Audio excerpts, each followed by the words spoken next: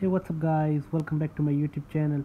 So guys in this video i'm going to show you how to fix safari web clear browsing data grayed out on my iphone. So guys first of all i can show you.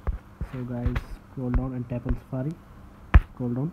So here you can see this guys clear history and website data is grayed out on my iphone. So guys how can you fix this issue?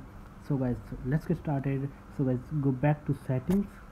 Scroll scroll up tap on screen time scroll down and tap on content and privacy restrictions.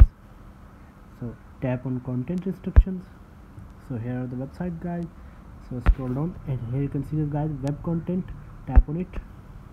So here you can see this guys unrestricted access limited limit adult websites allowed websites only.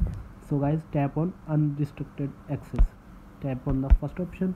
So guys go back now find Safari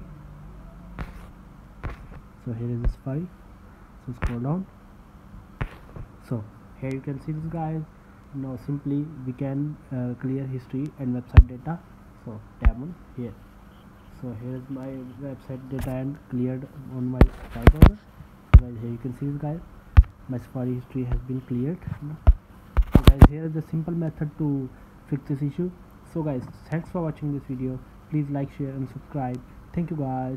See you in the next video